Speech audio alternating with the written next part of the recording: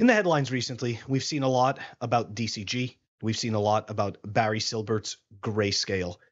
But we don't see that much mention about Silvergate or ticker symbol SI that trades on the new on the uh, the New York Stock Exchange.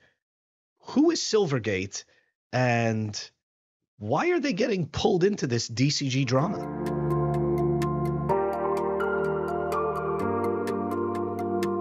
With Bitcoin pumping yesterday, a lot of people sit there and start to think, all right, that's it, 1% pump, we're all happy. Okay. But for those of us that have been here a little bit longer, um, we are still seeing um, some of the red flags that are out there. And again, I'm not saying that because of this, Bitcoin's going to crash or something like that. That's completely neither here nor there. What I'm trying to say is, is that there are still elements of surprise that are out there. And I'm not entirely convinced that that the pain is over.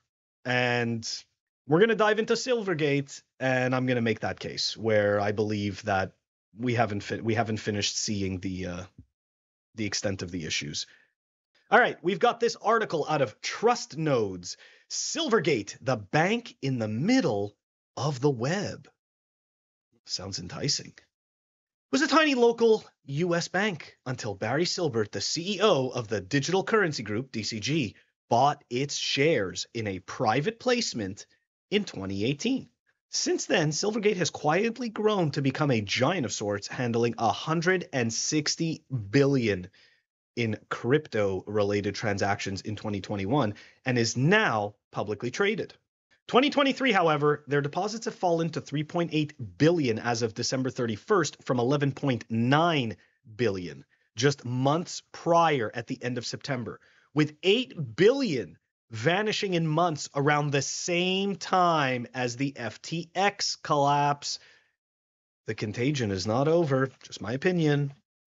Just this November, Silvergate stated that Silvergate's total deposits from all digital asset customers totaled 11.9 billion, of which FTX represented less than 10%.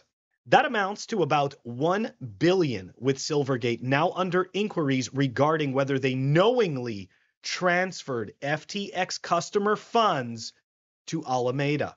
Your bank's involvement in the transfer of FTX customer funds to Alameda reveals what appears to be an egregious failure of your bank's responsibility to monitor for and report suspicious financial activity carried out by its clients.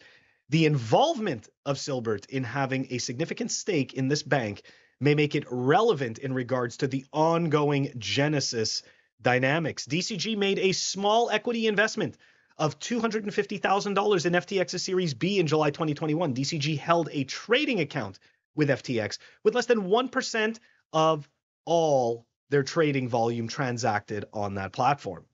Silbert portrays DCG as a kind of venture capital vehicle that sort of has nothing to do with its subsidiaries. It's not really how that works, though.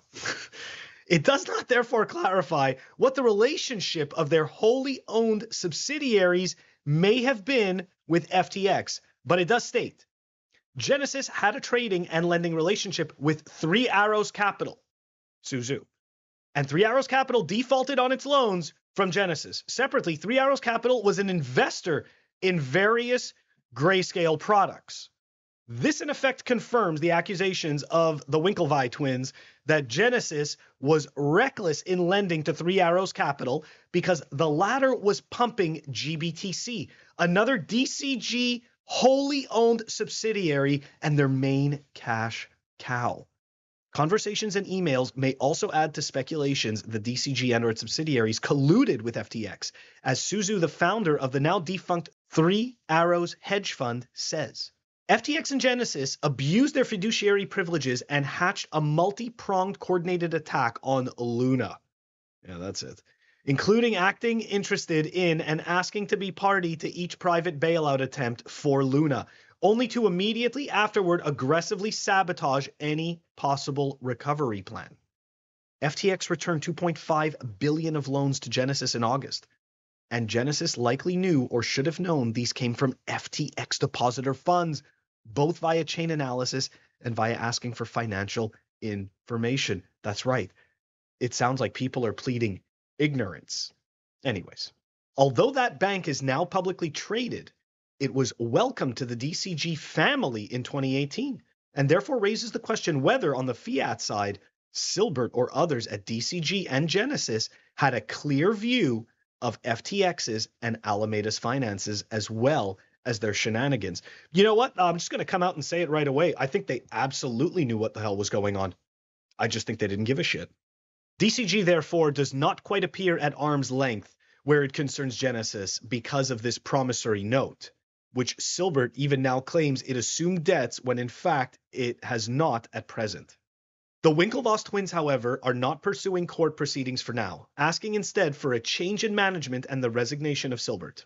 Which way investigators may go is even less known, with a federally insured bank now involved in all of this. And that is indeed correct. We went over to take a look at silvergate.com, and they are a Federal Reserve member bank.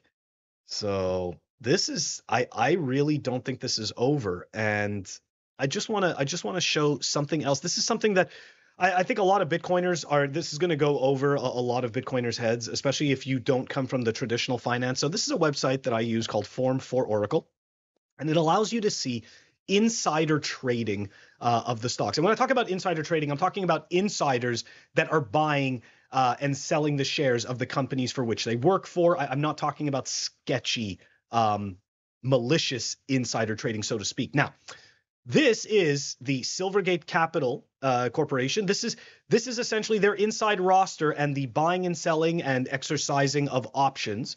Okay, that have gone on. Okay, and this goes to show you. It shows you the dates and it shows you the type of activity that occurred. Okay, so this starts all the way up at June 13th, 2022. Okay, but what we're going to do is we're going to scroll all the way down to the bottom, okay? Because this is the end of the year right here. This is November 22nd. Keep in mind what was happening in November.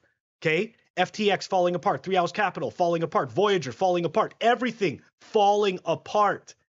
And take a look at this right down here at the bottom. Kathleen Fraher, the chief risk officer, who understands risk better than the person whose job it is full time, sold 5% of her holdings at $130 a share. Now, that timeline is important because Silvergate, okay, in the last 52 weeks had a high of around $162 a share, which happened in March of 2022. Okay. Actually happened on March 29th. So they waited a bit, could see that it wasn't coming back up, and sold off. And of course, I'm just making assumptions as to why this risk officer sold, but I don't think it's a coincidence. I don't think it's a coincidence in any way, shape, or form that this person sold in November as everything was crumbling before anybody started to figure out what Silvergate had to do with this. And I think that using these types of tools is very, very important. Now, okay, do we think that Silvergate has anything really to do with Bitcoin?